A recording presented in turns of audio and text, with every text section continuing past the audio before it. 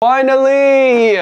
Moondrop Blessing 3. Yes, today's video we'll talk about and review the Blessing 3, compare it to the Blessing 2 Dusk and the original Blessing 2, and also the Softears Studio 4. Why not? Let's jump into it. Hey friends, team, welcome back to Unveiled Gizaudio. Today we have the Blessing 3 by Moondrop, the upgraded Blessing 2 finally. The Blessing 2 and 2 Dusk both are legendary in the community. I don't think those two IEMs needs any kind of introduction whatsoever. The B2 Dusk in particular is one of the IEMs that competes really well with IEMs even in the 750 to $1,000 bracket. The tuning on the B2 Dusk is just very balanced, neutral, good bass response, natural sounding mid-range, and good treble. Now, it's not a perfect IEM, it has some flaws. The treble might be a little bit too tame, lacks a little bit of sparkle, the bass can use more punchiness. The B2 Original, that one is also good, not nearly as good as the Dusk, I would say, but for the time that it was released,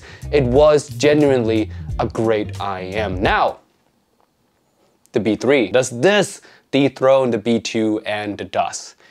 The short answer is yes. The long answer, let's jump into the sound breakdown. Starting with the bass, you get less bass than the Blessing 2 Dusk, but in trade-off for the power, you get better dynamics. It's noticeably more distinct in its punches. It's not as blunt as the Blessing 2 Dusk, but you do get quite a bit less power. So it's not really utilizing that great dynamic to its full potential, if you will. Now, besides great dynamics, it's also very clean. Now, not as clean as the Moondrop variation, which can come across a little bit thin. The B3 doesn't have that level of thinness. It might be thin to some of you guys out there, but for most people, I don't think so. It's just gonna sound really nice, well-controlled, clean, so vocals and instruments that live in the lower mid-range are not muddied up or warmed up in any way by the bass, which I think is fantastic. Now on to the mid-range, just as beautiful as on the Blessing 2 Dusk. Very natural, slightly bit energetic, not in any way shouty, just a beautiful sounding, correct sounding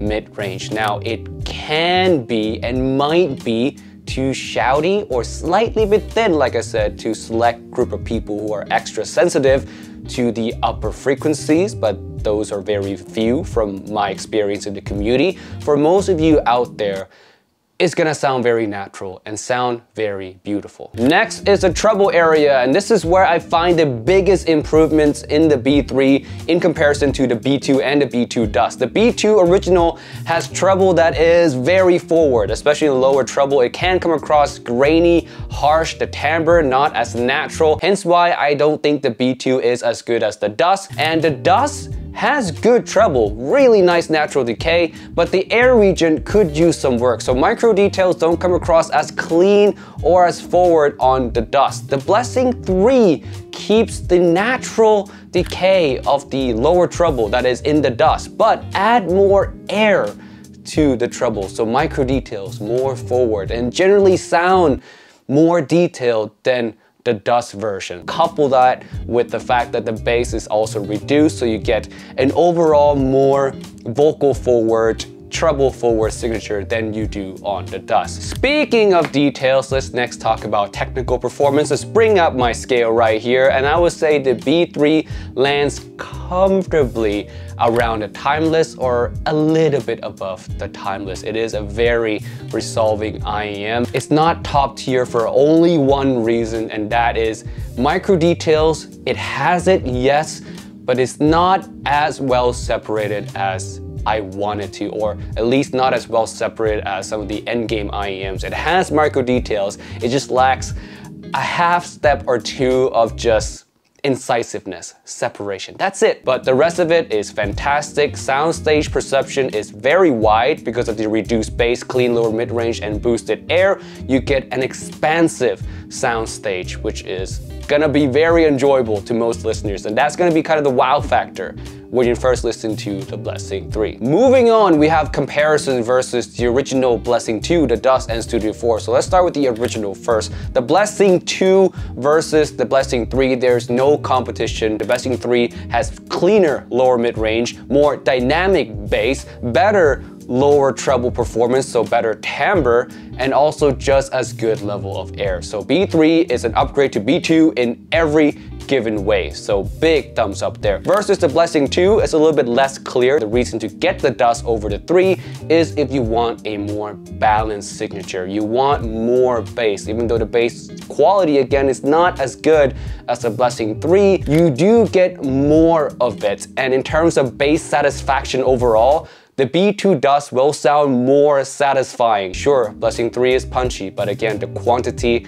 kind of lets it down if if you're into bass that is right there's a lot of people who are not into that much bass but for those of you who are I would say the B2 Dusk is still the way to go but if you don't care about bass you want vocal forward you want details Blessing 3 is better. Comparison to Studio 4 now Studio 4 is a benchmark IEM for me. Under $500 is my favorite IEM timbre is very beautiful good levels of details as well and has a mid-range that is just natural, natural, anti-shout, tamer tuning, good bass response, even for a BA IEM, just an all-around fantastic IEM. And versus the Blessing 3, I would say the Studio 4 is about a half step better. Not a full step better, but a half step better. And that is because the Studio 4 just sounds more balance out to me. There's more fullness in the bass, which I appreciate. The Blessing 3 is a little bit thin in comparison to the Studio 4 and the timbre, even though the Blessing 3 has beautiful timbre, the Studio 4 has